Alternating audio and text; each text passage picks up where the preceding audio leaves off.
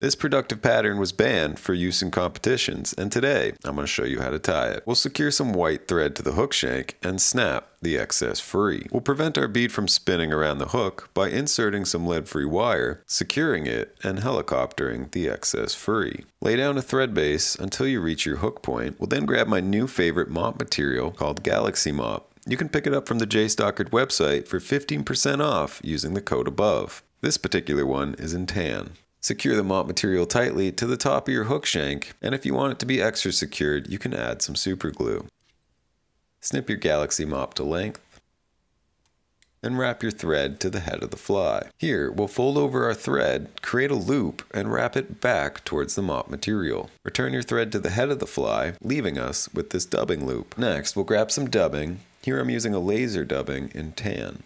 Insert it into our dubbing loop and spin it up. We'll then brush it out to give it a nice buggy look. We'll wrap our dubbing up the body until we reach the thread.